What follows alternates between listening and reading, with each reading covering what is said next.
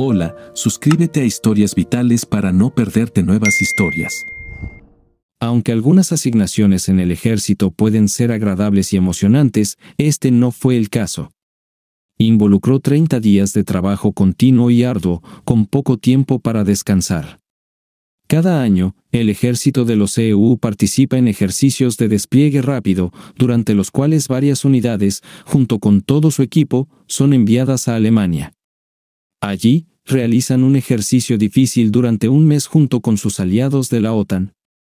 Mi nombre es Fred Sandler, y durante estos ejercicios, yo era un recién nombrado capitán en el ejército de los EU, sirviendo en el Departamento de Operaciones en Fort Hood, Texas. Cuando recibí mis órdenes de asignación, lamentablemente sucedió en un momento en que mi esposa estaba embarazada y esperaba dar a luz durante mi ausencia. A pesar de mis intentos de dejar el servicio, el ejército no me lo permitió. Lidia y yo llevábamos casi seis años casados, y la mayoría de ellos fueron buenos, pero hubo tiempos difíciles cuando tenía que hacer viajes de negocios y ella se quedaba en casa. Lidia y yo no éramos socios románticos ni amigos de toda la vida, nos conocimos en la inspección de tráfico cuando estaba registrando mi auto y ella estaba renovando su licencia. Sentados uno al lado del otro, comenzamos a conversar mientras esperábamos nuestro turno. Antes de darnos cuenta, intercambiamos números de teléfono. Una semana después, salimos en nuestra primera cita y un mes después, pasamos nuestra primera noche juntos. Lidia puede que no haya sido una belleza deslumbrante, pero su apariencia temporal tenía un efecto hipnótico en mí. Solo con mirarla, mi corazón latía más rápido. Su figura era igualmente clásica y cautivadora. Cuando pasaba, tanto hombres como mujeres no podían apartar la vista de su hermoso cuerpo. Al principio, sentí una sensación de orgullo al ver cuánta atención atraía, pero con el tiempo, se volvió agotador. Parecían considerarla únicamente como un objeto de deseo, como sanguijuelas alimentándose de su belleza. Me di cuenta de que necesitaba aceptar esta realidad. Lidia, por otro lado, no se inmutaba ante tanta atención. Que miren, querido, decía. Está bien. Pueden admirarla, pero no pueden tocarla. Cada vez que hablaba de eso, deseaba que no le pusieran ni un dedo encima. Ella se esforzó mucho para lograr su físico actual, y yo la apoyé en cada paso del camino. Entrenábamos juntos en el gimnasio tres veces por semana, corríamos en el parque e incluso hacíamos senderismo juntos. Cuidábamos meticulosamente nuestra dieta y ni siquiera podía recordar la última vez que comí carne roja. Verla vestirse, o mejor aún, desvestirse, siempre fue un espectáculo hipnótico para mí. Cada vez que se quitaba la ropa con despreocupación, exponiendo su piel desnuda, mi corazón latía más rápido. Siempre encontraba consuelo en el hecho de que mi comandante me aseguraba, Prometo hacer todo lo posible para que te quedes en casa hasta que nazca el bebé. Fiel a su palabra, lo hizo. Después de que mi servicio terminó, organizó mi regreso a los Estados Unidos en el primer vuelo disponible. Apresuradamente, empaqué mis cosas, llamé a Lidia y le informé que pronto estaría en casa. El momento no podría haber sido más oportuno, ya que regresaba justo a tiempo para estar con ella en el hospital. Le informé de esto, y terminamos nuestra conversación con un sincero, te amo. Cuando llegué al aeropuerto, el cielo ya había caído en el crepúsculo. De repente, un ciervo saltó al camino frente a nosotros. En una fracción de segundo, mi conductor viró para evitar la colisión. El siguiente momento, desperté en un hospital militar en Frankfurt. Tenía el brazo derecho, la pierna derecha, tres costillas del costado y el pulmón derecho rotos. Estaba en un estado de confusión, sin entender lo que sucedía a mi alrededor. Gradualmente, a medida que mi conciencia se despejaba, comencé a preguntar sobre mi situación. ¿Cuánto tiempo he estado en este hospital? le pregunté a la enfermera. ¿Dónde está mi esposa? Después de una estancia de cinco días en el hospital, me informó que mi esposa no estaba allí, pero que mi comandante se había comunicado con ella a mi llegada, por lo que estaba al tanto de la situación. Pedí mi teléfono, que la enfermera encontró entre mis cosas, y llamé a Lidia. Ella se preocupó inmediatamente por mi bienestar, pero la tranquilicé y pregunté sobre ella y el bebé. Las lágrimas brotaron en sus ojos mientras me daba la noticia. Hemos perdido al niño, Fred. Lo siento mucho, susurró. Me quedé sin palabras, demasiado impactado para responder. Después de un momento, logré preguntar, ¿estás bien? Asintió, con la voz temblorosa. Creo que sí. Estoy de vuelta en casa ahora, pero no quieren que viaje para estar contigo. Preocupado, pregunté, ¿qué pasó? Ella explicó los eventos confusos en el hospital, como todo parecía normal antes de la repentina alarma entre las enfermeras. Aún no entiendo qué salió mal, admitió. Intentaron explicar que el problema estaba relacionado con el cordón umbilical. ¿Estás segura de que estás bien? pregunté. Hubo un pesado silencio mientras ambos intentábamos ordenar nuestros sentimientos. Físicamente, estoy bien, pero emocionalmente, estoy completamente destrozada, respondió. ¿Cuándo vas a regresar a casa? preguntó. No lo sé con certeza, no me dieron instrucciones, fue mi respuesta. Debo ir contigo, sugirió. No, por favor quédate donde estás y cuídate, dije. Dos semanas después, fui llevado a casa en ambulancia. Lidia me recibió y me acompañó al hospital de Fort Worth. Aunque todavía estaba emocionalmente inestable, el tiempo que pasamos juntos pareció darnos tranquilidad a ambos. Le pregunté si le había dado un nombre al niño, y ella respondió afirmativamente, llamándola Heather. Al mencionar ese nombre, las lágrimas llenaron nuestros ojos. Permanecí en el hospital durante dos semanas más antes de ser dado de alta para un periodo limitado de servicio, lo que usualmente me eximía del entrenamiento de campo. No fue fácil, ya que mi brazo y piernas seguían enyesados, pero después de unas semanas, finalmente me los quitaron. Con el tiempo, parecía que todo iba bien en nuestro matrimonio y en mi carrera. Dos años después de la pérdida del niño, nos trasladaron a Heidelberg, Alemania. Durante los tres años que pasamos allí, logramos viajar por toda Europa. Fue en Heidelberg donde recibí el rango de mayor. Finalmente, nos trasladaron a Fort Louis, Washington, donde, como mayor, nos proporcionaron viviendas para oficiales de grado superior, una mejora significativa con respecto a nuestros alojamientos habituales de grado de compañía. Tenían garajes, no solo cobertizos para autos. La clase de compañía incluía a segundos tenientes, primeros tenientes y capitanes, mientras que la clase de campo incluía a mayores y rangos superiores. Después de mudarnos a la casa en Luis, todos los artículos llevados a Alemania fueron enviados de vuelta. El desempaque incluyó cajas almacenadas y no llevadas con nosotros, que se apilaron en cada habitación. Lidia asistió a una reunión de recién llegados en el club de oficiales para conocer a otras esposas y establecer nuevas amistades. Cuando se fue, me quedé en la cabaña, dedicando mi tiempo a desempacar y organizar nuestras pertenencias. Usando un cúter, abrí cuidadosamente una de las muchas cajas y comencé a sacar su contenido. Esta caja contenía artículos que habíamos recogido durante nuestra estancia en Alemania.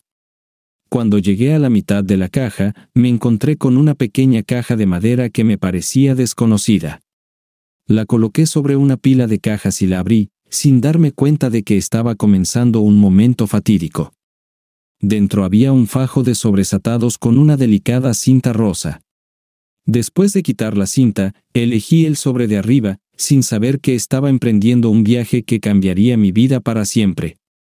Al abrir cuidadosamente el sobre, encontré un documento oficial marcado como certificado de nacimiento. Mientras mis ojos recorrían los detalles en el papel, una sensación de confusión e incredulidad nubló mis pensamientos. El documento afirmaba que una niña llamada Geater había nacido viva el mismo día que Lidia dijo que nuestro bebé había nacido muerto. El nombre de la madre estaba registrado como Lydia Jane Sadler, antes conocida como Johnston. Había una entrada en el certificado de nacimiento que indicaba que el nombre del padre era desconocido. En la parte inferior del documento había dos pequeñas marcas de tinta. Aturdido, me desplomé en el sofá y estudié el papel durante lo que pareció una eternidad. Finalmente, lo dejé en el sofá, me levanté y me acerqué a la pila de sobres, tomando el siguiente. También sin sellar, encontré un certificado de adopción de varias páginas en su interior. Lo leí varias veces, tratando de entender la información. El documento describía en detalle a una niña llamada Heather, nacida de Lydia Sadler pero entregada en adopción, con Lydia privada de los derechos parentales. Señalaba que, dado que la identidad del padre biológico era desconocida, no se requería su permiso. Además, el paquete enfatizaba que el nombre y la ubicación de la familia adoptiva debían ser confidenciales, sin conexión alguna entre ellos y la señora Sadler. El resto del paquete consistía principalmente en correspondencia. Estaba completamente aturdido. Era la mentira más escandalosa que jamás había encontrado. Tales situaciones no surgen de la nada, deben ser cuidadosamente planificadas. Al menos, eso es lo que pensaba. Si ella asumía que yo asistiría al nacimiento, entonces ya había considerado la posibilidad de adopción. ¿Quién podría ser el padre del niño? Ni siquiera ella parecía estar segura. Habíamos estado casados durante seis años. ¿Cuántos otros hombres había tenido durante ese tiempo? Me sentí incómodo durante la limpieza, pero al final me recompuse. Con cuidado, Volví a empaquetar y sellar la caja que contenía todo, notando la etiqueta, papeles y recuerdos de la infancia de Lidia, escrita con marcador mágico en los cuatro lados. Si lo hubiera notado antes, nunca habría abierto la caja. El espacio personal y la privacidad son importantes, incluso en el matrimonio, y Lidia debería haberlo sabido. Reorganicé varias otras cajas y puse la suya entre ellas. Sintiendo que la habitación estaba cargada, traté de no prestar atención a lo que estaba sucediendo y decidí salir a la terraza trasera para tomar un poco de aire fresco. ¿Qué debería hacer a continuación? ¿Cómo podría siquiera abordar este tema? Estaba completamente perdido, sin saber a dónde acudir ni qué pasos tomar. Desesperadamente necesitaba un consejo. No había ninguna posibilidad de buscar consejo en sus padres, ya que reaccionarían violentamente y podrían perjudicar a Lidia.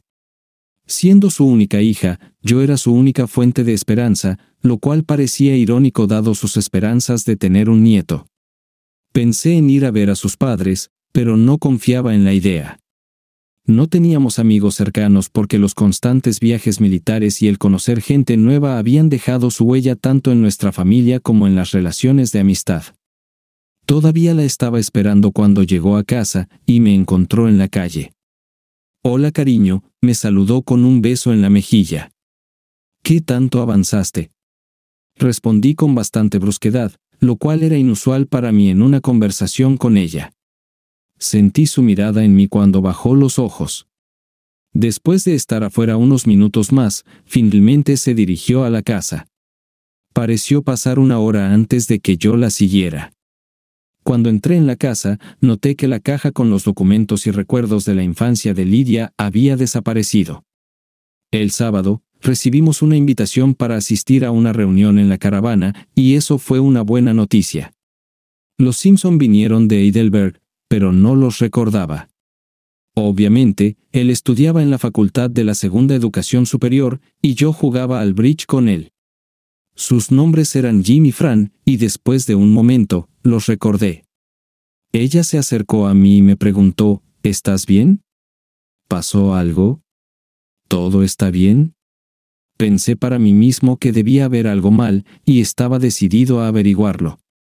No, solo me siento fuera de lugar hoy, respondí. Entonces, ¿quieres que cocine la cena, o preferirías ir al club de oficiales? preguntó. No tengo hambre. Creo que solo me acostaré, dije, y me acosté en nuestra cama aún completamente vestido. Ya me había quedado dormido antes de que ella llegara. A juzgar por la forma en que miré mi reloj, ya era tarde porque a la una de la mañana descubrí que todavía estaba despierto. Curiosamente, dormí hasta las nueve, algo raro para mí. Después de ducharme, bajé las escaleras donde, como era de esperar, ella ya había hecho café. Cuando ofreció desayuno, lo rechacé, prefiriendo solo café, lo cual era otra elección inusual para mí, ya que normalmente disfrutaba de un desayuno completo. Se sentó frente a mí y dijo, Bien, tengo muchas preocupaciones en este momento. Lo confieso, me levanté, llevé el café al fregadero, lo vertí y me dirigí al garaje. Sabes que siempre estoy ahí para ti si necesitas ayuda, me aseguró mientras me iba. Conduje hasta el campo de golf, estacioné el coche y me dirigí al decimonoveno ole, donde había un bar, una barra de bocadillos y un restaurante.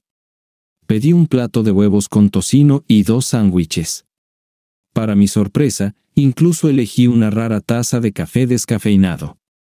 Solía ser mi desayuno favorito hasta que Lidia me convenció de cambiar mis hábitos alimenticios. Ella estaba categóricamente en contra de la carne en cualquier forma, pero pedí este plato de todos modos, a pesar de su desaprobación. Logré terminar la mayor parte del plato y me senté en la terraza observando a los golfistas terminar su juego en el hoyo 18 antes de entrar.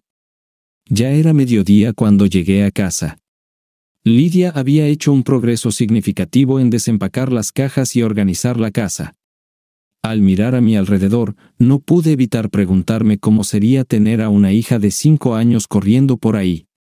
Apenas llegué al baño antes de tener que vaciar mi estómago del desayuno. Al inclinarme sobre el tocador, sentí su mano en mi espalda. En ese momento, sentí una oleada de ira y resentimiento hacia ella. Aléjate de mí, Quise gritar, pero en su lugar, incliné la cabeza hacia atrás y vomité aún más el desayuno. Habían pasado años desde la última vez que vomité, desde esa noche salvaje en el baile de la escuela. Terminado, subí las escaleras para enjuagarme la boca y cepillarme los dientes. Cuando regresé a la sala de estar, ella estaba sentada allí con una servilleta en la mano, los ojos rojos e hinchados de tanto llorar. Sin decir una palabra, pasé junto a ella y volví al garaje. Cuando estaba retrocediendo, ella apareció repentinamente en mi espejo retrovisor. No puedo ayudarte si no sé cuál es el problema, comentó. Mientras continuaba moviéndome hacia atrás, al ver que no tenía intención de detenerme, se apartó rápidamente del camino. Regresé a mi unidad y entré en la oficina, encontrándome solo con el oficial de guardia. Aunque intentaba concentrarme en mi trabajo en el escritorio, mis pensamientos estaban en otra parte. Cuando llegué a casa, ya era bien pasada la medianoche. La encontré en la cama leyendo. Después de desvestirme y ducharme, decidí pasar la noche en el sofá. Anuncio mi partida, cerrando la puerta detrás de mí. Después de acomodarme en el sofá y encender la televisión, fui interrumpido por su aparición repentina. Rápidamente agarró el control remoto, apagó la televisión y me miró severamente. Deja de decir tonterías, exigió. Dime qué pasa, y o te ayudaré o me iré, ¿qué prefieres? Insistí en que no había hecho nada malo y que no toleraría que me gritaran cuando intentaba ayudar. Me acerqué a ella, tomé el control remoto y encendí la televisión. Que tengas buen viaje, dije cuando se fue. Menos de una hora después, fue inusual para nosotros hablar así, y ella nunca antes había insinuado que iba a irse, y mucho menos hacerlo de verdad. Me levanté de mi asiento y comencé a buscar la caja que ella había escondido, registrando en el sótano.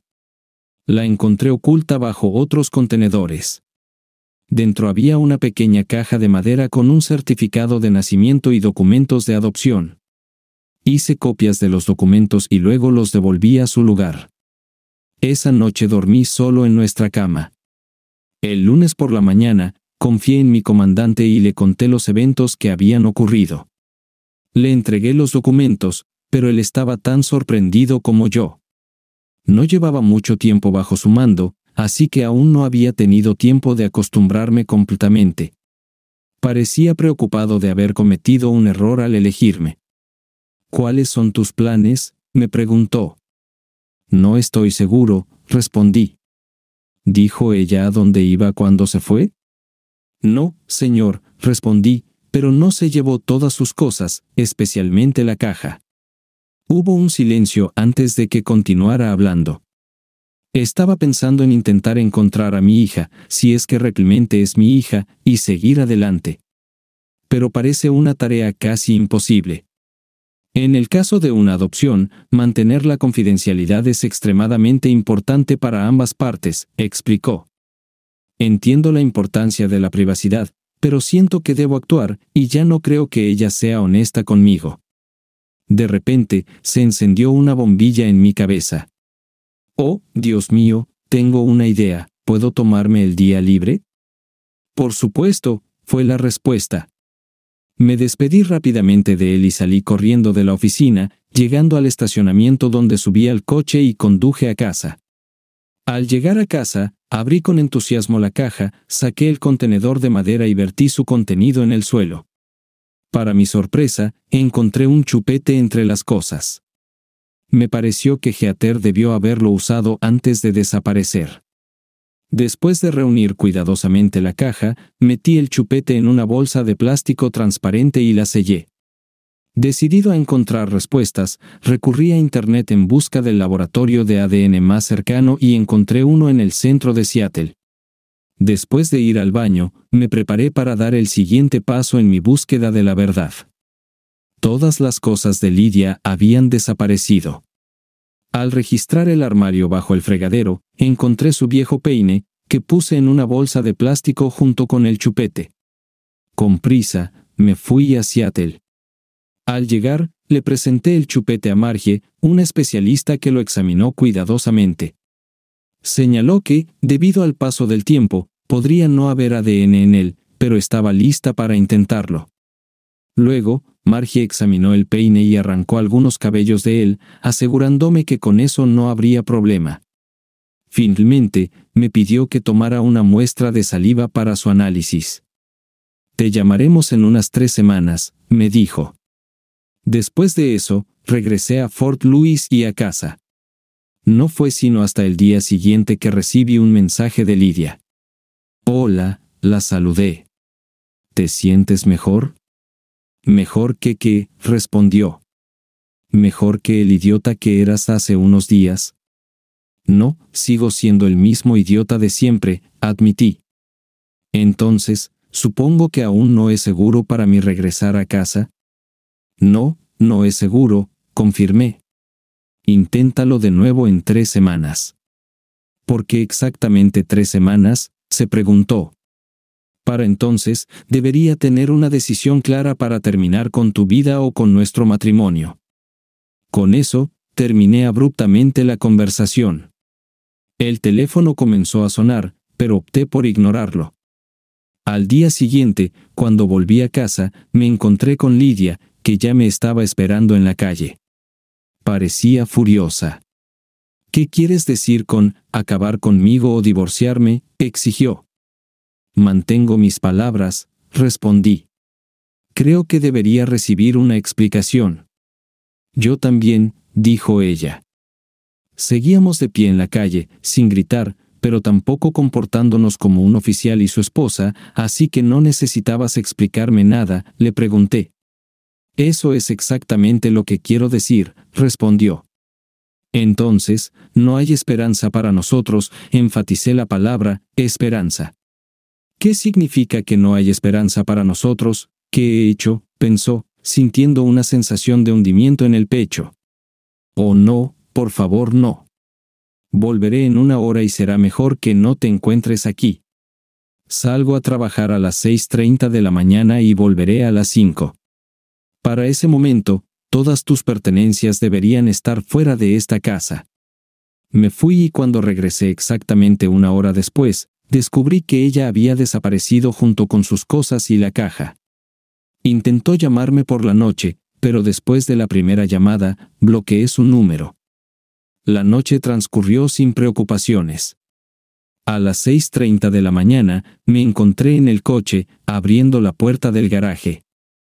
Cuando miré por el espejo retrovisor, vi a Lidia de nuevo allí parada. Vacilé por un momento, debatiendo si atropellarla, pero al final decidí no hacerlo. Cuando comencé a retroceder lentamente, ella me rogó que habláramos. ¿Podemos al menos hablar? preguntó, apoyando las manos en la tapa del maletero y moviéndose junto con el coche. Permanecí en silencio y no respondí nada. Al acercarme a mi destino, noté una camioneta estacionada en la calle con tres hombres en la cabina. Cuando llegué, el coche seguía en movimiento, y vi que los hombres rápidamente salieron del camión y corrieron hacia la mujer, sacándola por detrás del coche. Tenía sentimientos encontrados, sin saber si sentirme aliviado o ansioso por sus acciones. Esa noche, cuando regresé a casa, encontré la casa casi vacía. Ella decidió llevarse la mayoría de los muebles, dejando solo algunas cosas. Sorprendentemente, dejó mi sillón favorito en la habitación de invitados, así como algunos objetos cotidianos y utensilios de cocina. Recogió la plata valiosa y los productos chinos, así como otras cosas que no le interesaban. Al día siguiente, notificó a su oficina sobre el retraso, contactó con la oficina de correos para organizar la entrega temporal de muebles gubernamentales a su apartamento y realizó llamadas a la cooperativa de crédito, el corredor de bolsa, la compañía de seguros y otros conocidos para resolver las tareas administrativas necesarias relacionadas con el divorcio. También hizo una cita con un abogado de JAG, Judge Advocate General. Sabía que no tenían la autoridad para hablar en mi nombre en un tribunal civil, pero podían darme consejos confirmaron mis sospechas de que ella se llevaría la mitad, a pesar de que vivíamos en una vivienda pública y no poseíamos una casa. Teníamos suficientes fondos para comprar una si decidíamos hacerlo. Nuestros coches estaban completamente pagados porque los compramos en Alemania a un precio mucho más bajo de lo que habríamos pagado en Estados Unidos. Fui a mi oficina donde mi comandante habló conmigo, aconsejándome que tomara todo el tiempo necesario para resolver las cosas. Regularmente informaba al capitán sobre mis éxitos o la falta de ellos. Esto continuó durante varias semanas más, el trabajo, las tareas domésticas, cortar el césped y lavar el coche ocupaban todo mi tiempo. Una mañana, el teléfono interrumpió mis actividades habituales. Hola, respondí. La voz al otro lado preguntó, ¿Es usted el mayor Fred Sadler? Después de confirmar mi identidad, respondí, sí. La persona que llamaba se presentó como Margie del Centro de Análisis de ADN y me recordó que había enviado muestras para su análisis hace unas semanas. Sí, es correcto, confirmé. Los resultados ya han sido resumidos y están disponibles para su revisión. Lamentablemente, no puedo proporcionárselos por teléfono. Tiene la opción de enviarlos por correo a la dirección especificada para que pueda revisarlos. Por razones de seguridad, necesitamos que presente un documento de identidad. Por favor, venga lo antes posible para ver los resultados. Cuando llegué, saludé a la recepcionista y pregunté si podía hablar con Margie. Después de una breve introducción, intercambiamos saludos y ella me pidió ver mi identificación. Luego me llevó a una sala compacta, me pidió que esperara y salió. Regresó con un chupete en las manos, entregándomelo. Me explicó que la muestra A era mía, la muestra B provenía del cabello que proporcioné, y la muestra C era de un chupete. Está bien, respondí, tomé el chupete y lo guardé en mi bolsillo. Luego tomé los papeles y me dirigí hacia la salida. Cuando subí al coche, pensé en lo afortunado que era de que mi hija no estuviera en una situación donde llamara papá a otro hombre, a diferencia de uno de mis conocidos. Aunque el personal de JAG no podía recomendar bufetes de abogados específicos, el oficial con el que hablé me dio una lista de opciones aprobadas. Al día siguiente, comencé a contactarlas. Hice seis citas antes de finalmente reunirme con un oficial retirado de JAG que se suponía que me ayudaría. Tenía un fuerte desprecio por los cónyuges infieles, ya fueran hombres o mujeres. Pasé más de una hora explicándole mi situación. En 45 años de práctica legal, nunca me había encontrado con un caso tan egoísta e inmoral. Parece que la mujer no lamenta en absoluto sus acciones. Desafortunadamente, los tribunales suelen dar preferencia a la esposa en los casos de divorcio, independientemente de las circunstancias casi con seguridad apoyarán a tu esposa en esta situación. Parece que siempre se oponen al marido, incluso si es inocente. Llegué a casa tarde y encontré una carta de Lidia en mi buzón. Era breve y directa, recordándome que habían pasado tres semanas. La dirección de retorno era la casa de sus padres en Mechanicsburg, Pensilvania. Después de llamarla, Lidia me saludó con un simple Hola, Fred. Me negué a discutir esto por teléfono o a ir a Pensilvania, así que tendría que venir a mí. Actualmente estoy en Seattle, donde envié un correo electrónico la semana pasada. Estaré en la casa a las 6.30, así que ven entonces, terminó la conversación abruptamente. No hice preparativos adicionales, ni bebidas, ni queso, ni galletas, porque se suponía que era una reunión puramente de negocios. Reuní los documentos del ADN, así como mis copias del certificado de nacimiento y los documentos de adopción, y me senté en una mesa de café de emisión gubernamental. Ella llegó a las 6.20, pero esperó hasta exactamente las 6.30 para tocar el timbre. No tenía prisa por responder, la hice pasar y luego la dirigí a una silla. Cuando se acomodó en la dura silla frente a mí, me senté en el sofá. Saqué un chupete de mi bolsillo y se lo entregué.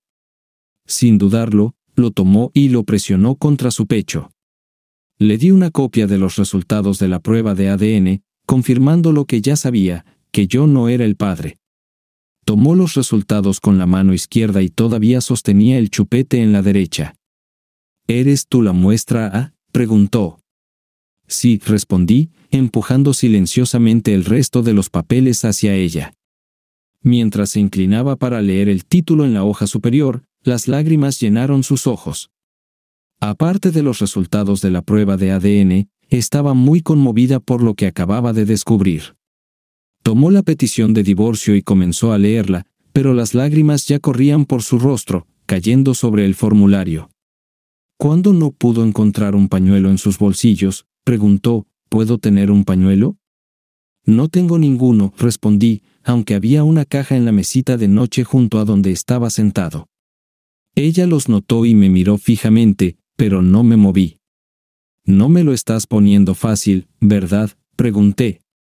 ¿Con quién me engañaste? Solo con un hombre, respondió. ¿Importa? preguntó. No, solo quiero saber, respondí. ¿Un fin de semana? ¿Hombres diferentes? pregunté. Solo uno, confirmó. ¿Quién es? pregunté. Realmente importa, respondió. Repito, solo quiero saber, dije. Creo que merezco saberlo, pero no revelaré la razón, dijo. ¿Conozco la identidad de la persona en cuestión? No voy a divulgar esta información. ¿Preferirías protegerlo a él que trabajar para preservar nuestro matrimonio? Ella recogió los papeles de divorcio y dijo, nuestro matrimonio no puede ser restaurado. ¿Por qué retrasar lo inevitable? Está bien, pero tienes que explicar por qué mentiste sobre la muerte de nuestra hija, afirmé. Fue una declaración, no una pregunta, dijo. Sí, soy culpable, admitió. Al ponerse de pie, sacó una caja de pañuelos y la metió bajo el brazo. Se secó los ojos húmedos con uno de ellos, todavía aferrada firmemente al chupete. Cuando descubrí por primera vez que estaba embarazada, me invadió la incertidumbre. ¿Es este tu hijo o el de él? comenzó. La idea de interrumpir el embarazo cruzó por mi mente, pero no pude hacerlo. Con el tiempo, me di cuenta de que la paternidad nunca puede ser inequívoca. Cuando supimos que íbamos a tener una niña, estaba aún más convencida de que no podrías distinguirla. Creía en el vínculo único entre padre e hija, y estaba segura de que tú y ella tendrían rasgos comunes. A medida que se acercaba la fecha de parto, comencé a sentirme ansiosa. Me parecía que podrías descubrir que no era biológicamente tuya. Pero cuando te fuiste en un viaje de negocios, mis nervios se calmaron un poco. Me consolaba el hecho de que no estarías presente en su nacimiento. Pero cuando mencionaste que volabas de regreso, mi ansiedad volvió. Mis emociones estaban en caos. No sabía lo que el futuro me deparaba. ¿Estarías presente cuando apareciera o te mantendrías alejado? La incertidumbre me pesaba. Y así, apareció. En ese momento, todas mis preocupaciones se disiparon. Ella estaba aquí, viva y perfecta. Cuando estaba acostada sobre mi pecho, la miré y sentí un torrente de amor. Era asombrosa, con cabello rubio y ojos azules como los de su padre, a diferencia de ti y de mí, que tenemos cabello y ojos marrones. Se destacaba en nuestras familias. Estaba claro que no era tu hija. A pesar de mi amor por ti y por ella, tomé la difícil decisión de elegirte a ti. Con el apoyo del personal del hospital, tomé la desgarradora decisión de darla en adopción. Menos de un día después, tenía los documentos que solicitaron en mis manos. Cuando me preguntaron sobre el padre del niño, admití que no sabía su identidad. Me explicaron que sería más fácil de esta manera, ya que obtener su permiso complicaría las cosas. Mientras tanto, sostenía al bebé en mis brazos, la alimentaba y la tranquilizaba con un chupete. Cuando me trajeron los documentos para firmar, la niña comenzó a llorar de nuevo. A regañadientes, se la llevaron de mí para que pudiera completar el papeleo. Después de firmar los documentos, extendí la mano para volver a tomarla, pero la enfermera dijo que no podía devolvérmela. Ya no era mía. A pesar de esto, seguí extendiendo la mano hacia ella. Cuando se preparaban para llevársela, logré agarrar su chupete antes de que desapareciera para siempre. Nunca volví a verla. Lo único que me queda de ella son las dos fotos que logré tomar con mi teléfono, la muñeca y su certificado de nacimiento. Ahora ella lloraba incontrolablemente. Recé por perdón, deseando recuperar a mi hija. Me senté y la observé llorar, y pareció una eternidad antes de que le llevara un vaso de agua. Gracias, susurró. Me volví a sentar en mi lugar mientras ella tardaba un rato en recobrar el sentido. Quería compartir algo contigo, dijo, y luego se inventó una historia, que había nacido muerta y su cuerpo fue cremado. Cuando regresaste a casa, me sorprendió que no pidieras un certificado de nacimiento, un certificado de defunción o cualquier otra evidencia, explicó. Todavía me sorprende. Creía en ti. Confesé que no tenía razones para no confiar en ti. La experiencia fue tan terrible que no podía prolongar nuestro tormento estudiando esos documentos, explicó después de un rato. Tú y yo volvimos a nuestra rutina diaria habitual, y comencé a sentir una sensación de satisfacción. Pero en el fondo, sabía que alguna parte de mí todavía faltaba. Cada año, este sentimiento solo se intensificaba, especialmente en su cumpleaños. Intenté obtener su certificado de nacimiento, rastrear las huellas de sus pequeños pies y tomar su chupete. Hubo momentos en los que incluso pensé en ponerlo en mi boca para sentirme más cerca de ella. Pero aún había rastros de mi leche materna seca en la tetina y no podía perder esa conexión. En ese momento, quiso mostrarme algo, pero el chupete no se encontraba por ninguna parte. La leche debió haber sido retirada de alguna manera en el laboratorio de ADN, exclamó, y luego se volvió hacia mí desesperada. Se ha ido. Su leche se ha ido. Eres un monstruo. Le robaste su leche. Cayó de rodillas y se acurrucó en el suelo, dejando escapar gritos de agonía. La recogí con cuidado y la puse en el sofá, incapaz de soportar verla en un estado tan angustioso. Después de cubrirla con una manta, me retiré a mi habitación, incapaz de dormir y escuchando durante horas sus sollozos resonar en la casa. A medianoche, escuché el sonido del inodoro y bajé las escaleras. Estaba sentada en el sofá. ¿Te gustaría un café? sugerí. Sí, por favor, respondió. Cuando se sentó en la barra, le hice una taza. Tomó un sorbo y rompió el silencio. Parece que estoy un poco asustada, ¿verdad? Asentí en señal de acuerdo. Continuamos sentados en silencio, disfrutando de nuestro café. ¿Quieres más? pregunté. Sí, por favor, respondió con una sonrisa. ¿Dónde te estás quedando? pregunté después de hacer dos tazas más. Estoy en el motel, respondió. ¿Has estado allí más de tres semanas? pregunté. No, pasé la mayor parte del tiempo con mis padres, admitió. ¿Saben ellos la verdad? No, también les mentí. Les dije que estábamos pasando por un periodo difícil y que necesitaba estar contigo. Ellos pagaron mi visita, pensando que había vuelto para ayudar a resolver nuestros problemas. ¿Dónde está tu motel? pregunté. En realidad, ya debería estar allí. Mirando alrededor de la habitación, fue a la mesa de café, sacó un bolígrafo de su bolso, se sentó, firmó los papeles de divorcio sin leerlos y se fue rápidamente. Recogí todo, guardé las tazas de café y subí a dormir. Cuando me desperté a la mañana siguiente, me di cuenta de que ya era domingo. Pasé todo el día pensando, y finalmente decidí llevar los papeles de divorcio a mi abogado al día siguiente. Los gestionó rápidamente después de informar a la autoridad de vivienda sobre mis planes de mudarme de esta área a un apartamento en otra ciudad.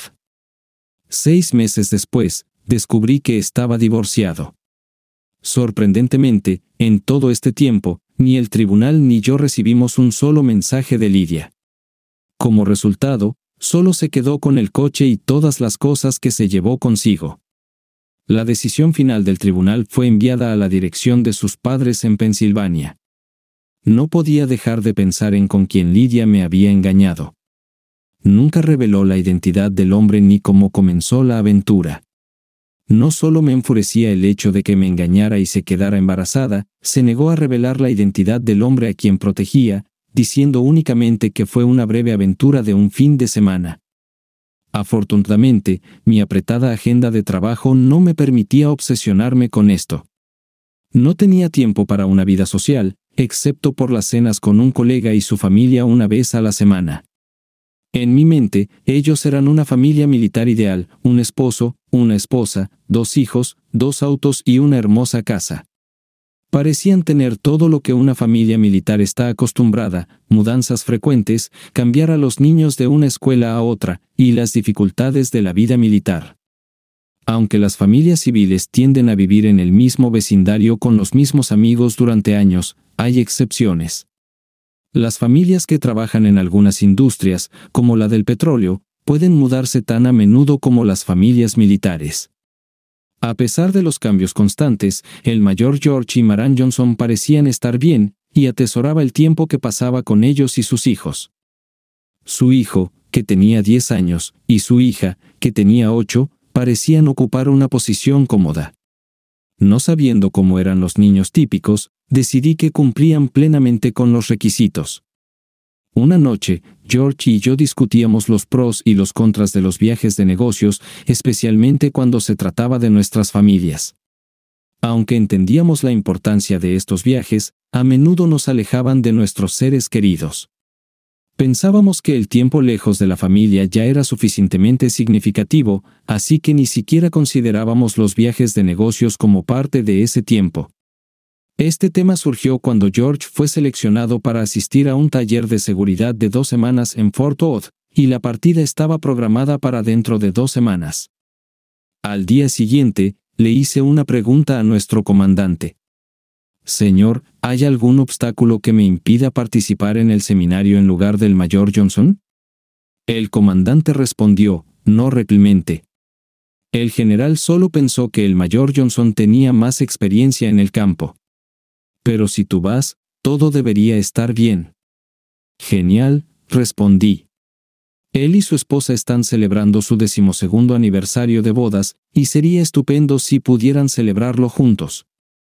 No sabía que eras tan romántico, Mayor Sadler, se rió. Dos semanas después, estaba de regreso en Fort Odd, donde Lidia y yo vivíamos cuando nació su hija. Los seminarios militares suelen ser asuntos serios, pero este fue sorprendentemente relajado. Nos dividieron en grupos de tres participantes para completar un proyecto, pero como ya se habían formado seis grupos, el mayor de Alaska y yo quedamos solos. A pesar de la falta de familiaridad inicial, pronto desarrollamos un vínculo cercano, como si hubiéramos sido amigos durante muchos años. Su nombre era Kate Franklin, y servía en Alaska en Fort Wright, conocido como la base más fría del ejército de los EU. A pesar del frío, le gustaba estar allí. Siendo un genio de la informática, Kate siempre estaba un paso por delante de sus compañeros, lo que nos obligaba a tomar descansos y darles la oportunidad de ponerse al día. Uno de los viernes de la primera semana, almorzamos en el club donde Kate habló sobre sus problemas personales. Admitió que engañó a su esposa, lo que resultó en su divorcio. Ahora ella vive con otro hombre y sus dos hijos lo llaman papá. Las consecuencias de un divorcio pueden ser muy graves, y Kate sintió todo el peso de sus acciones. Solía pensar que lo más difícil de escuchar es cuando tus hijos llaman a otro hombre su padre. Mientras terminábamos de almorzar, también compartí mi historia. Cuando terminé, había una expresión inusual en sus ojos. ¿Por casualidad sabes quién es el hombre con el que ella tuvo el affair? preguntó. No, nunca me reveló esa información, respondí. ¿Cuándo sucedió esto en Ood? preguntó. Sí, ocurrió hace casi seis años, confirmé. Sígueme, respondió Kit, invitándome a seguirlo. Nos dirigimos al centro de personal por donde todos los asignados a Fort Ood deben pasar. Tan pronto como entramos en la oficina de la directora de recursos humanos, ella se levantó de inmediato y rodeó su escritorio para abrazar a Kate. Parecía tener unos 60 años, y había un brillo en sus ojos que instantáneamente me atrajo hacia ella. Tía Lucía, este es Fred Sadler, me presentó Kate. Hola, Fred, dijo, extendiendo su mano para estrechar la mía. Hola, leí el cartel en el escritorio de la señora Healy, S.R. Healy, comencé, pero ella me interrumpió. Llámame tía Lucía, todos lo hacen. Tía Lucía, comenzó Kate, ¿recuerdas al oficial de cabello rubio y ojos azules que estuvo aquí hace unos seis años? Ella se detuvo un momento antes de responder, no, pero no siempre recuerdo a todos los que pasan por aquí.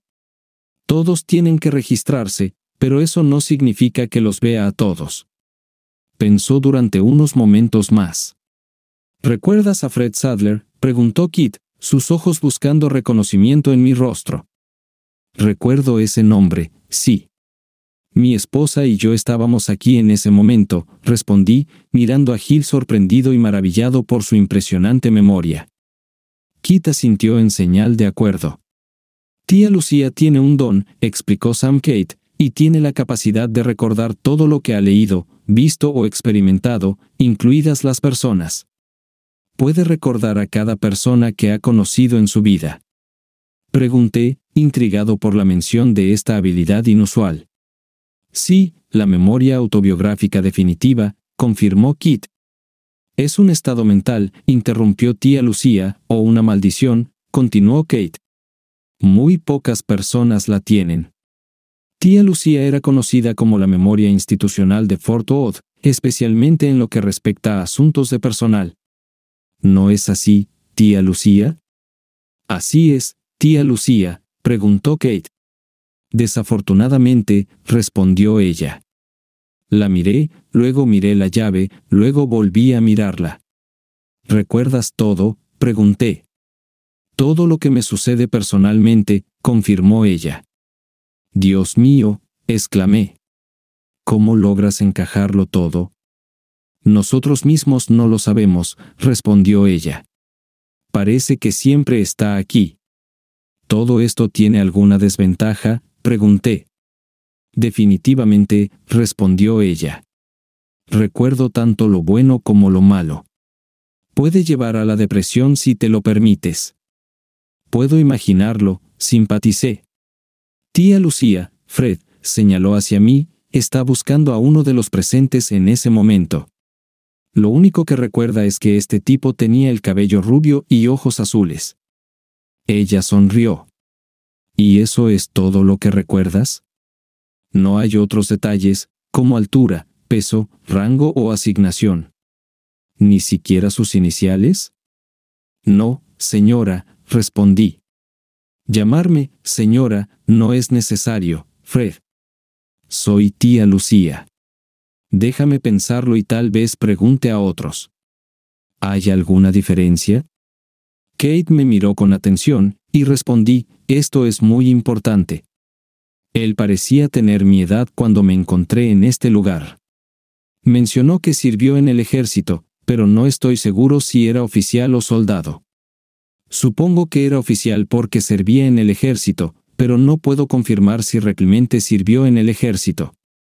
¿Era un empleado del gobierno? Lo siento, pero no tengo mucha información para darte, se rió. Es cierto.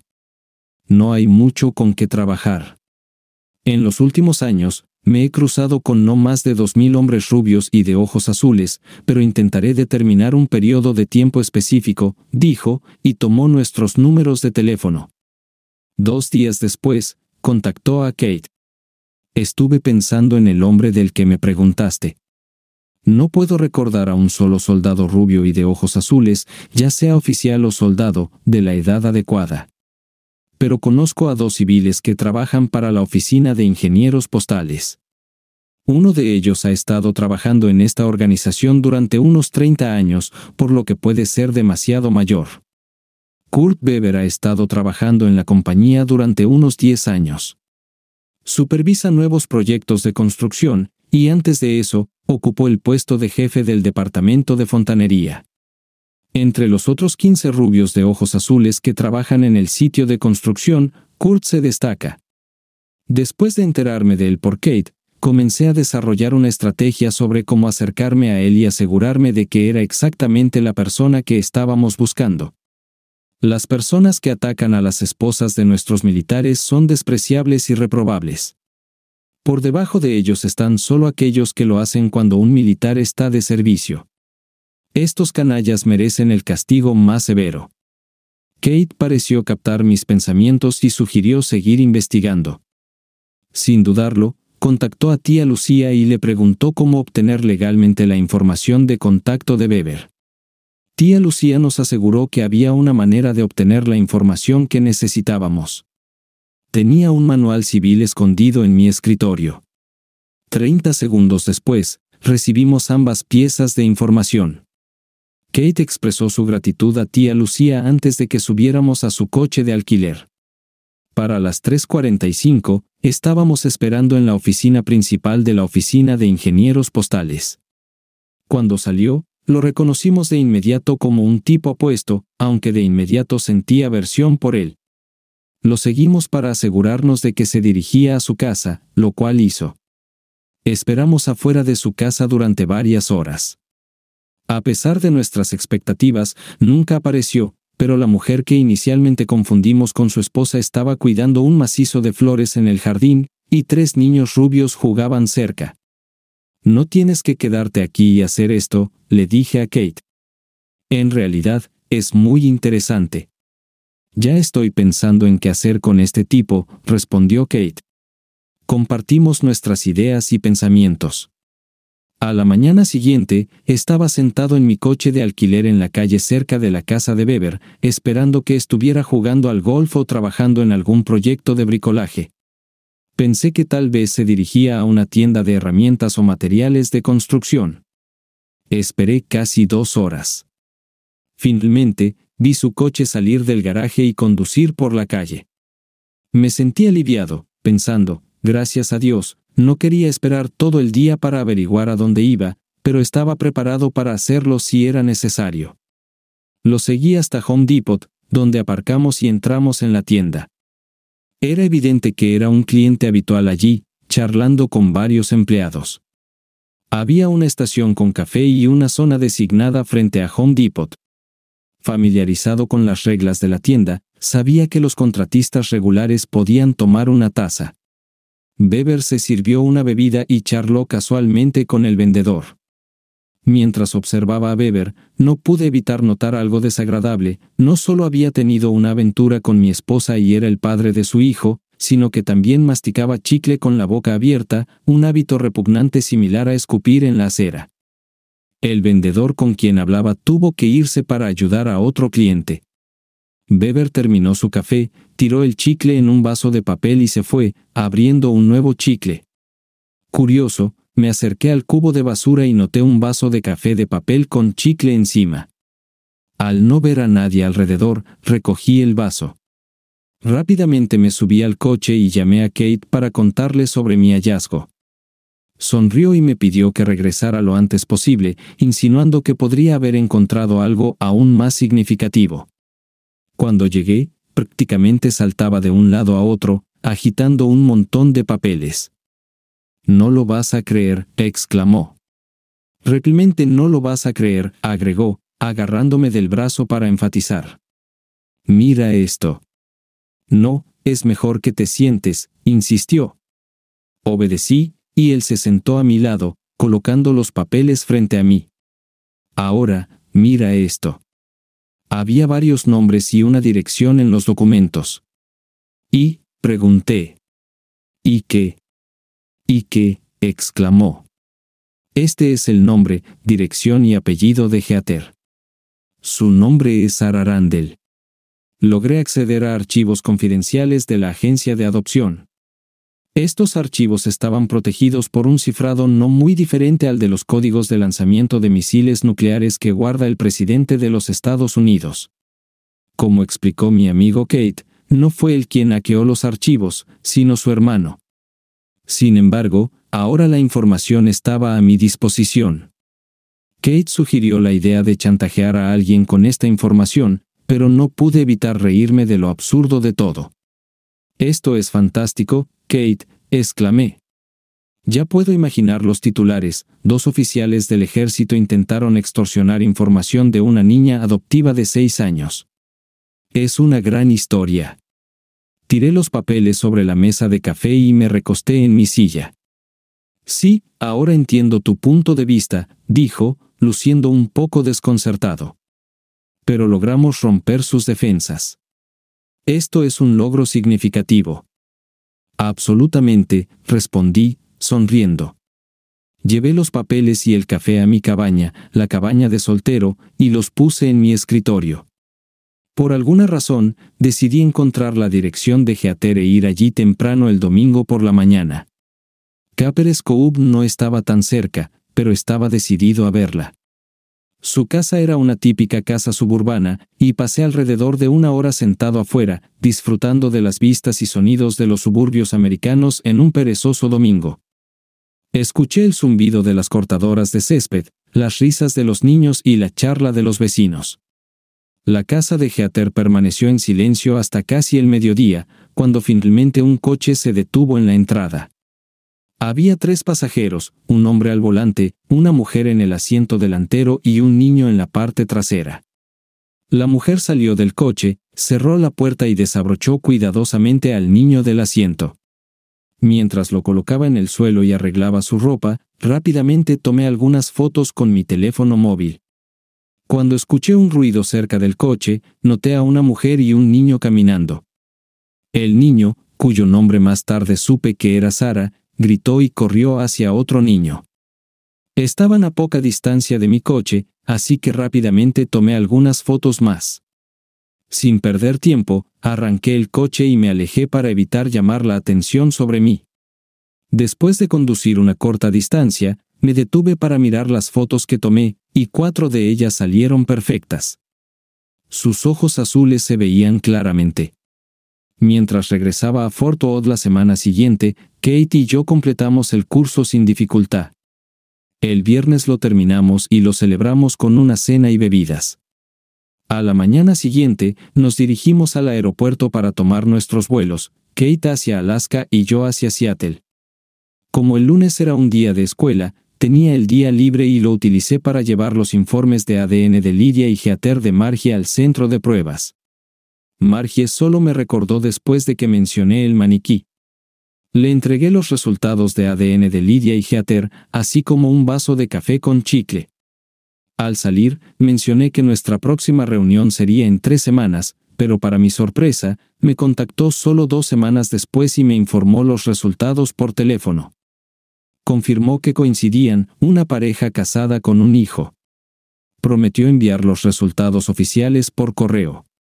Con toda la información necesaria en mis manos, no pude evitar preguntarme, ¿para qué es todo esto? ¿Qué haré con este nuevo conocimiento? Después de confirmar que Weber era realmente el hombre con quien Lidia me engañó, me tomó una semana actuar. Fui a Walmart a comprar sobres de papel e hice copias de dos fotos de Geater y los informes de ADN de Weber, Lidia y Geater cortando cuidadosamente cualquier información identificativa de los informes de ADN, puse todo en un sobre. Tomando precauciones, usé guantes desde el momento en que abrí la bolsa de papel y la caja de sobres hasta que hice las copias de las fotos e informes de ADN. Usé sellos autoadhesivos y sellé el sobre con agua, no con saliva, para evitar rastreos. La carta estaba dirigida a Kurt Weber a su dirección de casa, y también proporcioné el nombre de Lidia y la dirección de sus padres, ya que no sabía dónde estaba. Después de terminar la carta, conduje hasta la oficina de correos principal de Seattle y la dejé en el buzón. No sabía qué pasaría en Killeen, Texas, donde se encuentran Fort Odd y la familia Weber. Después de que el paquete llegó, realmente esperaba que se entregara a la señora Weber y no al señor Weber. A pesar de mis sentimientos, estaba seguro de lo que quería. Quería que la señora Weber se enterara de este hombre. Sentía pena por los tres niños que vi, considerando los míos, y por la señora Weber, pero pensaba que el señor Weber merecía lo peor, merecía los tormentos del infierno. Las noticias de Quilín estaban un poco desactualizadas, hace aproximadamente un mes, la tía Lucía me llamó. Necesito que seas muy honesto conmigo, dijo. ¿Tú y Kate tendieron una trampa a Weber? Tía Lucía, no quiero faltarte el respeto, pero, ¿qué le hemos hecho? ¿Manipulamos la situación para que su esposa solicitara el divorcio? Es cierto, Kate no estuvo involucrado en esto, le dije, revelando parte de la verdad pero sin mencionar el papel de Kate en la situación. Pensé que me iba a meter en problemas. Definitivamente has causado un gran revuelo, respondió. Cuando su esposa recibió tu paquete, no estaba segura de si el ADN pertenecía a él o a otra persona, por lo que decidió verificarlo por sí misma. Envió muestras para su procesamiento y también adjuntó perfiles de una mujer y un niño. Desafortunadamente, todos coincidían, lo que confirmó el ADN. Resultó que la mujer con la que estaba teniendo una aventura era mi esposa. Oh no, suspiré. Tenía la sensación de que resultaría así. Cuando lo llamaron a la oficina ayer, me di cuenta de que no estaba contento con ello. Hizo una escena para toda la base, pero el hecho de que su matrimonio finalmente terminó fue un alivio para mí. Sin embargo, no pude evitar sentir empatía por su familia. En cuanto a mí, mi propio matrimonio con Lidia ya había terminado en divorcio y parecía que el matrimonio de Beber iba en la misma dirección. Guardé cuidadosamente todos los papeles del divorcio que Kate me había dado y los guardé junto con otras cosas innecesarias. Mi vida continuó adelante. En los meses siguientes, salí en varias citas sin mucho éxito. A pesar de esto, seguí pasando una cantidad significativa de tiempo con George y Maran Johnson. Vivía en un apartamento, pero a menudo los invitaba a cenar, y frecuentemente cenábamos en su casa. Incluso me quedaba a dormir en su sofá. Con solo un año restante antes de que terminara mi servicio en Fort Louis, pensé en comprar una casa. Pero el ejército tenía otros planes para mí. Inesperadamente, fui enviado a estudiar en el Colegio de Comando del Estado Mayor, CGSC, ubicado en Fort Leavenworth, Kansas, donde pasaría casi un año.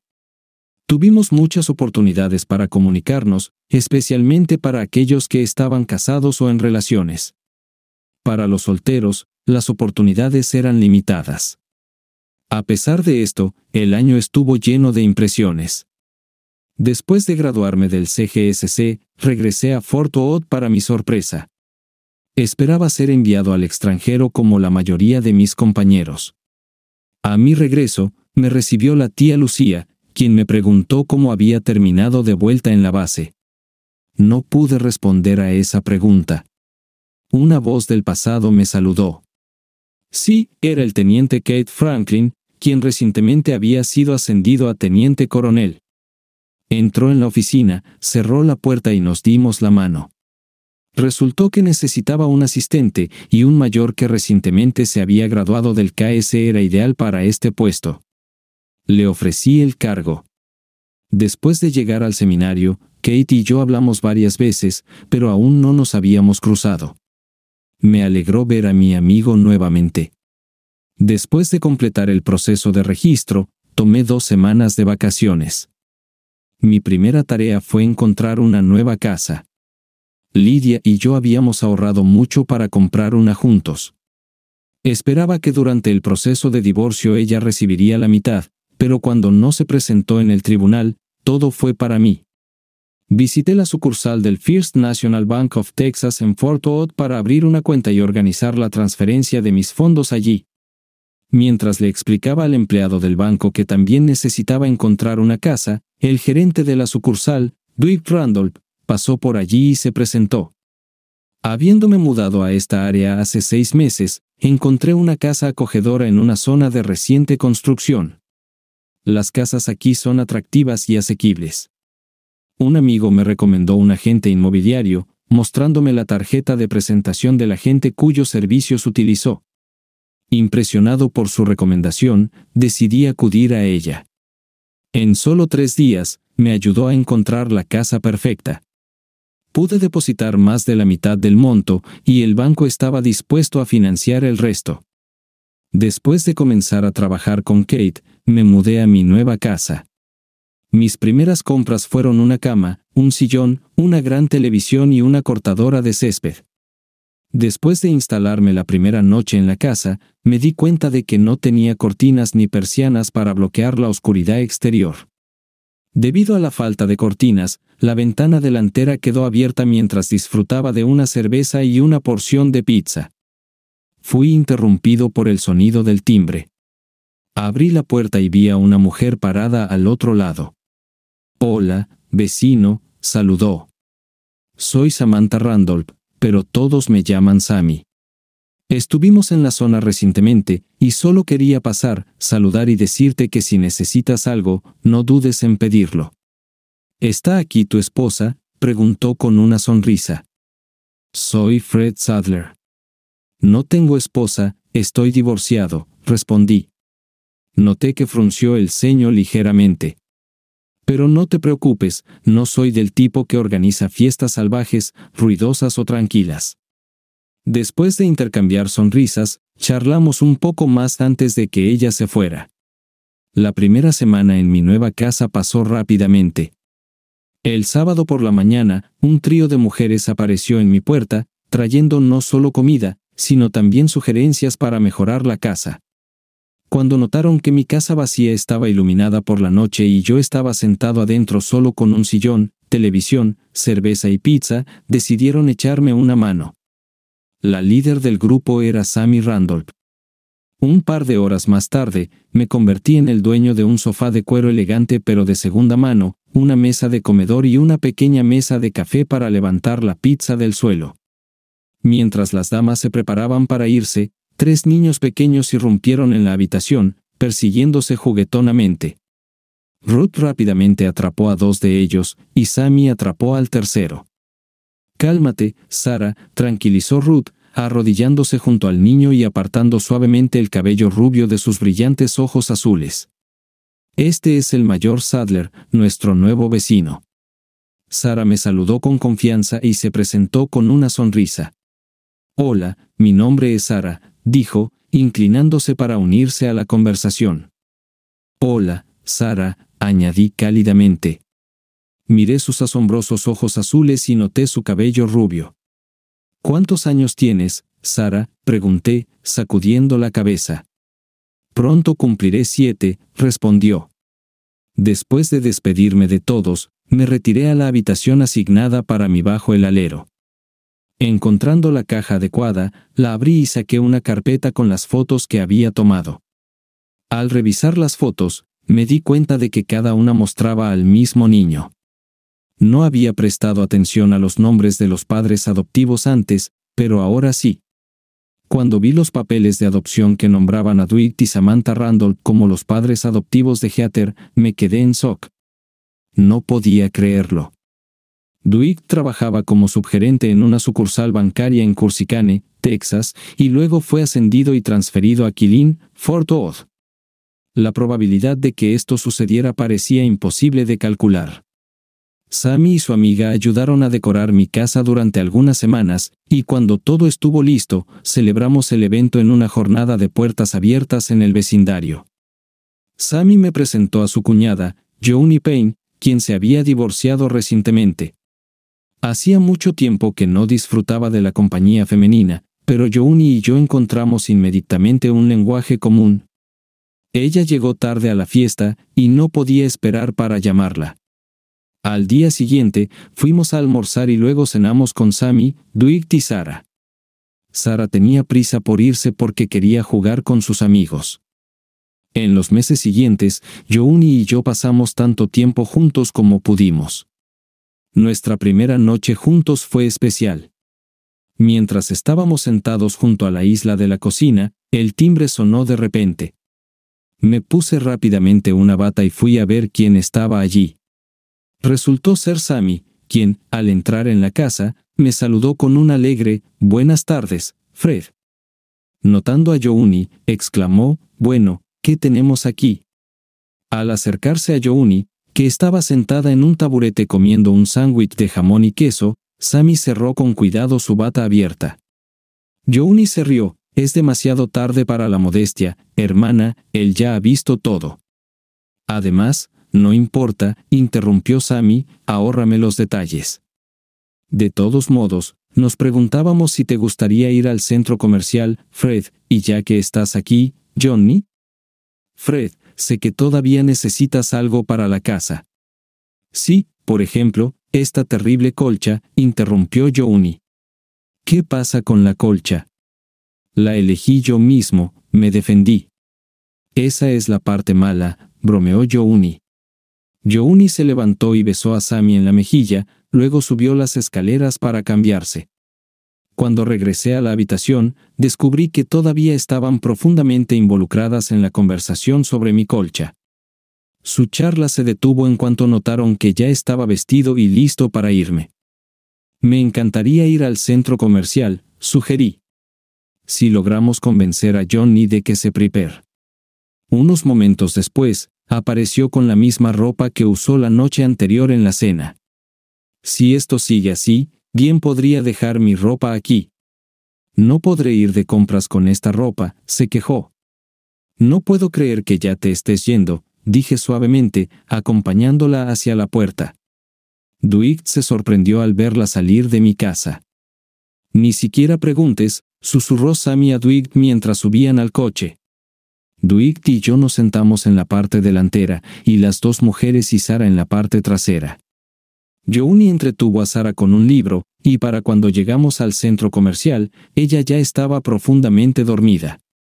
Cuando regresamos por la tarde, me ofrecí a llevar a Jouni a casa. Ella me invitó a tomar una copa y un refrigerio. Por la noche, no pude resistir y acepté su invitación. El siguiente fin de semana, Dwight y Sammy le pidieron a Jouni que cuidara de Sara mientras ellos salían a cenar. Nos sentamos en el patio trasero y observamos a Sara jugar en su arenero. Me volví hacia Jouni y le dije, es una niña tan dulce, ¿no crees, Johnny? Jouni estuvo de acuerdo y dijo, sí, realmente lo es. Curioso, pregunté, ¿sabías que fue adoptada? Sorprendida, Jouni respondió, ¿en serio? Asentí y expliqué, sí, la tienen desde que nació. La agencia de adopción descubrió que la madre biológica de Sara, quien estaba casada con un militar, tuvo una breve aventura con otro hombre, de quien ni siquiera recuerda, como resultado de lo cual quedó embarazada. Para mantener su aventura en secreto, tomó la difícil decisión de dar a Sara en adopción. Dwight y Sammy la llevaron a casa. Sara no era el nombre que le había dado su madre biológica, Geater era el nombre que aparecía en el certificado de nacimiento pero Dwight y Sammy decidieron que Sara le quedaba mejor.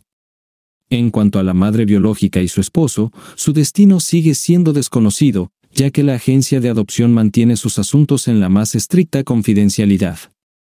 La madre biológica no tiene acceso a la información sobre la familia adoptiva y viceversa. Sara se acercó e inmediatamente quiso sentarse en el regazo de Johnny, apoyando su cabeza contra Johnny. Rápidamente se quedó dormida. Unos minutos después, Johnny me pidió que llevara a Sara a la cama. Me sentí incómodo porque era la primera vez que la tocaba. A pesar de la incomodidad, la acosté con cuidado. Siete meses después, Johnny se mudó conmigo, y un año después, nos casamos. El primer año de nuestra vida juntos fue feliz hasta que el ejército intervino. Después de recibir órdenes para tres años de servicio en Alemania, nos dieron 60 días para mudarnos. Gracias al eficiente trabajo de los servicios estatales de reubicación, nos encontramos en el país con todas nuestras pertenencias, incluido un coche, mucho antes del plazo. Los paisajes pintorescos de Alemania, especialmente en los alrededores de Heidelberg, nos deleitaron. Jouni, que nunca había viajado fuera de los Estados Unidos, estaba encantada de sumergirse en la aventura y emprender un viaje por Europa. Una de nuestras primeras tareas fue comprar un coche nuevo, lo cual llenó de alegría a Jouni mientras conducía a gran velocidad por las autopistas. Hicimos dos viajes a los Estados Unidos, uno para el funeral de su padre y del padre de Dwight, y el segundo para reunirnos con la familia. Durante ambos viajes, vimos a Dwight y Sammy. Sara asistió al funeral, pero estaba en un campamento durante la reunión familiar, lo que me trajo un sentido de alivio. Sara y yo nunca cruzamos miradas, y parecía un acuerdo tácito que no estábamos destinados a ser amigos, y eso estaba bien para mí. Entendía que ella no tenía control sobre su nacimiento y no sabía nada sobre sus padres biológicos, pero en mi mente, ella seguía siendo el resultado de la infidelidad de mi exesposa con su amante. Jouni y yo queríamos formar una familia, pero nunca sucedió. No pensamos en la adopción por mucho tiempo, pero nunca tomamos la decisión de hacerlo. A pesar de las circunstancias, Kate y yo seguimos siendo amigos y mantuvimos el contacto. Se casó de nuevo, y durante nuestra estancia en Alemania, sirvió en Bélgica. Nos visitamos mutuamente en más de una ocasión. Reflexionamos sobre los giros inesperados del destino que nos llevaron a donde estábamos. Él asumió toda la responsabilidad de la situación, atribuyendo todo a sus propias acciones. Si no hubiera convencido a su hermano de hackear la agencia de adopción, nunca habríamos sabido la identidad y el paradero de Heather.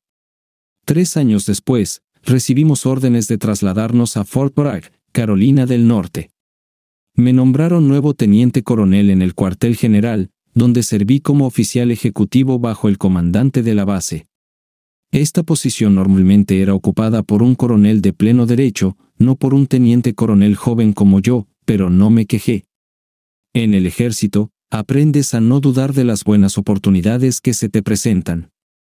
Decidimos seguir alquilando nuestra casa en Ken, y como parte de esta decisión, el cuartel general organizó una serie de sesiones informativas con varios departamentos que aseguran el funcionamiento de la oficina de correos. Una de estas sesiones fue conducida por un ingeniero postal.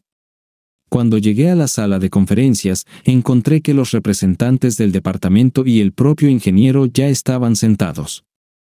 Cuando tomé mi lugar en la mesa, noté a un hombre de ojos azules que se levantó para comenzar su discurso. Su cabello era una combinación de tonos claros y grises, lo que le daba una apariencia sólida. Kurt Weber se presentó, y mientras habló durante una hora, mi mirada no dejó su rostro. A pesar de no haber escuchado una palabra, era obvio que se sentía incómodo con mi atención. Cuando terminó su discurso, preguntó si tenía alguna pregunta. Le pregunté si alguna vez había estado en Fort Hood, a lo que afirmó, mencionando su servicio en el Departamento de Ingeniería. Le pregunté sobre sus experiencias allí, a lo que respondió positivamente. Luego le pregunté por qué decidió irse. Pido disculpas por la naturaleza personal de mi pregunta, estoy interesado en aprender más sobre mis colegas. Recuerdo vagamente un escándalo en el Departamento de Ingeniería de Fort Hood hace unos años. ¿Puede proporcionar alguna información sobre esto? Creo que hubo algún tipo de estafa, dije. Gracias por la información. Si necesita ayuda del cuartel general, no dude en contactarnos. En caso de que lo olvide, hice un gesto hacia la placa de mi uniforme. Dice Sadler en ella, Fred Sadler. No me gustaría que lo ignore. Mientras mantenía el contacto visual, noté que una bombilla se encendió en su expresión, haciendo que sus ojos se abrieran. La complexión de Kurt Weber cambió de rojo a gris pálido en cuestión de segundos. Me levanté y salí de la sala. Más tarde, descubrí que el señor Kurt Weber había solicitado un traslado. Irónicamente, tendrá que pasar por mí para hacerlo. Al día siguiente, después de recibir la carta, escribí apresuradamente una respuesta en letras grandes y añadí una nota manuscrita. Tenía planes importantes que requerían la participación del señor Weber porque su éxito dependía de él. Para sorpresa de muchos, el señor Kurt Weber inesperadamente renunció al día siguiente. Cada día, mi amor por Jouni se fortalecía mientras admiraba su creciente belleza y atractivo. Cada mañana, al mirarme en el espejo, veía a un hombre de mediana edad que envejecía ante mis ojos. A menudo me preguntaba qué veía mi compañera en mí, pero estaba agradecido por el amor que compartíamos. El tiempo parecía volar mientras creábamos recuerdos juntos, y los años pasaron más rápido de lo que podía imaginar. Mientras servía en Alaska, decidimos visitar a Sammy y Dwight en Colin. En nuestra primera noche, hablaron sobre la importante decisión que habían tomado respecto a Sara, su hija de casi 18 años, quien siempre supo que era adoptada. Sara, que antes no había mostrado interés, ahora estaba decidida a encontrar a sus padres biológicos. Dwight y Sammy apoyaban completamente su decisión, pero la agencia de adopción no ofreció ninguna ayuda, citando obligaciones legales. Frustrados por las leyes obsoletas, creían que era necesario reformarlas, especialmente para que los niños adoptados pudieran acceder a información sobre la salud de sus padres biológicos. En respuesta, recurrieron a un sitio web de ADN y genealogía, donaron el ADN de Sara y estaban esperando los resultados. Sara esperaba que su madre viniera a su graduación de la secundaria, pero faltando solo unas semanas, ambos estuvieron de acuerdo en que esto era poco probable. Esa misma noche, Jouni y yo ya estábamos en la cama cuando de repente me preguntó, ¿qué vas a hacer con respecto a Sara? Confundido, respondí, ¿qué debería hacer? Jouni continuó, vamos, Fred. Los esposos no deberían tener secretos. Encontré tu archivo seis meses después de nuestra boda. Si revelas toda la información que tienes, ella podría evitar hacerse la prueba de ADN, murmuré. Claro que sí, estuvo de acuerdo. ¿Por qué has guardado silencio tanto tiempo? Dudé. Probablemente no quería molestarte y no veía la necesidad de involucrar a Dwight y Sammy, así que me quedé callado. Pero ahora, preguntó, es muy importante. Ahora que resuelvas este asunto, insistió. ¿Tienes alguna idea de cómo deberíamos abordar esto? Al día siguiente, elaboramos un plan para dar la noticia a los miembros de la familia Randolph. Jouni estaba segura de que su hermano Dwight lo manejaría, pero yo no estaba seguro de cómo reaccionaría Sammy. Decidimos esperar hasta que Sara saliera de la casa antes de contarles. Mientras discutíamos nuestra estrategia, ella se inclinó y me besó suavemente. ¿Alguna vez te he molestado? preguntó, mirándome a los ojos. La tranquilicé llamando estúpidas a sus preguntas, pero ella insistió. No puedo creer que ni siquiera me hayas tocado en todo el día, dije con una sonrisa, alcanzando los botones de su pijama. Pero puedo arreglar eso ahora mismo. A la mañana siguiente, era domingo, y la mejor amiga de Sara la recogió para un viaje al centro comercial. Reunidos los cuatro en la mesa, respiré hondo antes de empezar. Comencé explicando que Jouni y yo ya habíamos empacado nuestras cosas por si querían echarnos. Nos miraron, y Jouni simplemente se encogió de hombros. Sara no necesita hacerse una prueba de ADN para encontrar a sus padres biológicos porque yo ya sé quiénes son, dije con confianza. La expresión en sus rostros me impulsó a contarles más, y continué la historia. Cuando terminé, hice una pausa para tomar aire y mirar alrededor de la mesa. Dwight me miraba inmóvil y Sammy tenía lágrimas en los ojos. Sin dudarlo, se levantó de su asiento, vino hacia mí, tomó mis manos, me acercó a ella y me abrazó. Mi corazón rebosaba de felicidad. Llevó esta carga durante tanto tiempo, incapaz de confiar en nadie. Nadie debería pasar por eso, dijo, abrazándome de nuevo. ¿Qué piensas, Dwight? le preguntó a su esposo. Estoy tratando de calcular las probabilidades de que todos estemos juntos así. No creo que sea posible calcularlo en absoluto, respondió. ¿Qué vamos a hacer a continuación? preguntó Sammy, recostándose en su silla. Creo que Fred debería contactar a su exesposa e invitarla al baile, especialmente porque Sara quiere que ella esté allí, sugirió Jouni. ¿Pero por qué yo? pregunté. Dwight se rió al iniciar la conversación. Pero, ¿quién contactará a Weber? No yo, respondí, recordando la última vez que lo vi. Eso nunca me lo contaste, exclamó Jouni. No pensé que supieras toda la historia, respondí, sorprendido. Ella se inclinó y me besó, y no pude evitar pensar que amaba a esta mujer. Más tarde ese día, cuando Sara regresó, Dwight y Sammy le contaron todos los detalles. Estaba nerviosa y agitada, instándonos a continuar. La única manera de contactar a Lidia es contactar a sus padres. Sí, por supuesto, todavía están vivos y viven en Mechanicsburg con un teléfono fijo, dije. El lunes por la mañana, me dirigí a un investigador privado para que me ayudara a encontrar a los padres de Lidia y Kurt Weber. Al detective le tomó dos horas averiguar el número de teléfono de los padres y un poco más de tiempo encontrar a Weber. Con la información de contacto necesaria, llamé a los padres de Lidia, me presenté y expliqué que necesitaba hablar con Lidia. Les di mi número de teléfono para que se lo dieran a ella. Una hora después, sonó el teléfono y lo contesté.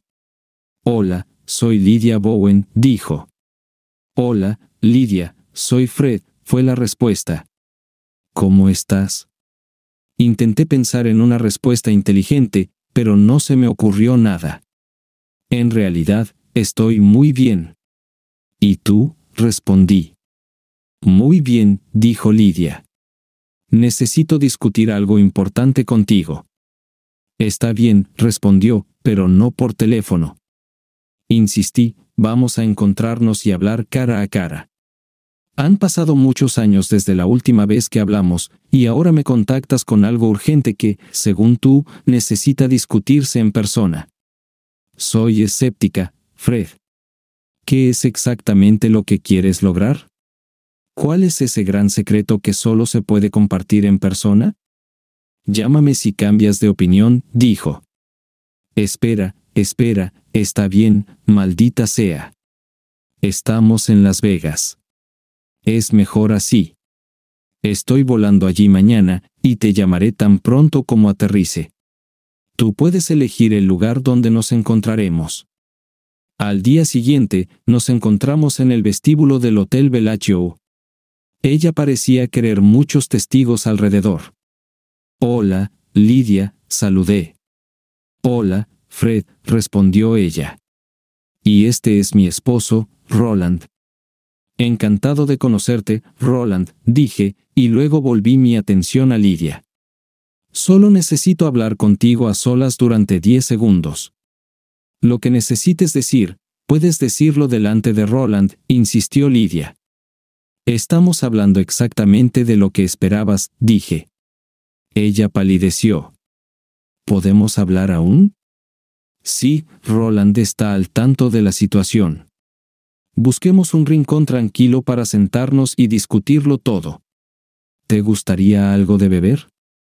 ¿Tal vez vino? Optamos por vino tinto, y pedí la bebida. Esperemos a que nos sirvan. Pagué el vino, y cada uno tomamos un sorbo. Sara, quien se gradúa de la escuela en dos semanas, preguntó si podrías asistir, dije. Roland y yo observamos cómo Lidia se desmayaba con una copa de vino en la mano. Milagrosamente, sin derramar una gota, Roland tomó con cuidado la copa de ella, la puso en la mesa y la tocó ligeramente en las mejillas hasta que despertó. ¿Qué dijiste? preguntó ella, repitiendo su solicitud. Quest, sacando la foto de Sara, se la entregué a Lidia, quien de inmediato se echó a llorar y acarició tiernamente la imagen. Es tan hermosa. ¿Dónde encontraste esto? preguntó Lidia. Expliqué que había tomado la foto en la sala de estar de Sara el día anterior. Sorprendida, Lidia preguntó cómo y por qué lo hice. Relaté toda la historia, incluyendo nuestros intentos fallidos de encontrar a Kurt Weber para obtener una invitación, y mencioné que conocía su nombre, lo que sorprendió nuevamente a Lidia. Al principio, estaba en shock, pero luego se enfureció. ¿Por qué nunca me lo dijiste? ¿Por qué has estado escondiéndola de mí todos estos años? Su voz se estaba volviendo más fuerte. Roland se levantó e intentó calmarla. Renunciaste a todos los derechos sobre ella. Fred está rompiendo la ley al mantenerla alejada de ti. Así que cálmate, dijo Roland. Finalmente, se calmó y preguntó, ¿cuándo puedo verla? Respondí, en su graduación, si quieres venir. Ella aceptó de inmediato. Por supuesto, iré. ¿Es posible verla antes? Es importante que ambos tengan tiempo para adaptarse. Toma todo el tiempo que necesites, dije. ¿Qué te parece venir el día anterior? Su rostro se iluminó con una sonrisa. Suena como una idea fantástica. ¿Te importaría si tomo una foto de ti para que ella pueda ver cómo te ves? Claro. Encontramos el lugar perfecto afuera para que posara. Cuando empecé a irme, ella de repente corrió hacia mí, me abrazó con fuerza y me llenó de besos por la cara y la cabeza. No parecía muy contenida. Más tarde ese día, volé de regreso para preparar a Sara. Le mostré la foto de Lidia. Es preciosa, comentó Sara. Parecía preocupada y emocionada al mismo tiempo. En un momento raro, me abrazó. Gracias, tío Fred, dijo. Ahora entiendo de dónde sacas tu belleza, comentó Sammy, acurrucándose con Sara. ¿Sabes cómo es mi padre biológico? preguntó Sara tímidamente. Los tres adultos me miraron expectantes, con los ojos muy abiertos en anticipación de mi respuesta. Después de pensar un poco, finalmente hablé. Puedo decir que heredaste el cabello rubio y los ojos azules de él, dije. Los adultos se relajaron visiblemente y respiraron aliviados. Solo me quedaba una semana de vacaciones y tenía que regresar a Alaska, dejando a Jouni para ayudar a preparar el gran día que se avecinaba. Volé de regreso a Alaska, prometiendo regresar dos días antes de la graduación. Sin embargo, el día antes de regresar a Ken, recibí una llamada de un investigador privado. El detective había logrado encontrar solo información limitada sobre Weber, lo que indicaba que se había trasladado de un puesto de servicio público a un puesto de consultoría en uno de los países del Medio Oriente. Al igual que otros consultores estadounidenses, Weber desapareció poco después de llegar al país, y no se ha establecido su paradero desde entonces. A mi regreso, recogí a Lidia y Roland del aeropuerto y los llevé inmediatamente a la casa de Sara. Cuando entramos, ella estaba de pie en el centro de la sala de estar. Invité a Lidia a que se acercara. Se miraron en silencio durante un tiempo antes de que Lidia rompiera el silencio. Traje esto para ti, dijo, entregándole el chupete a Sara. Es tuyo, y pensé que querrías recuperarlo. Sara saludó a su madre, pero era obvio que guardaba rencor hacia Lidia. Un mes después de la graduación de Sara, cortó todo vínculo con su madre biológica. Sara creía que ya no quería ver a esta mujer cruel, ya que no sentía amor y respeto por parte de Lidia. Le pregunté a Sara por qué había estado tratando de encontrar a sus padres biológicos, a lo que Sara respondió que quería mirarlos a los ojos y dejarlos de la misma manera en que ella fue dejada. Lidia estaba desesperada e intentó constantemente contactar a Sara, pero Sara logró obtener una orden judicial que prohibía a Lidia acercarse a ella. Siete meses después, Lidia fue diagnosticada con un trastorno mental y cáncer de estómago. Estaba en mal estado. Roland no pudo soportar las explosiones emocionales de Lidia por mucho tiempo y se divorció de ella.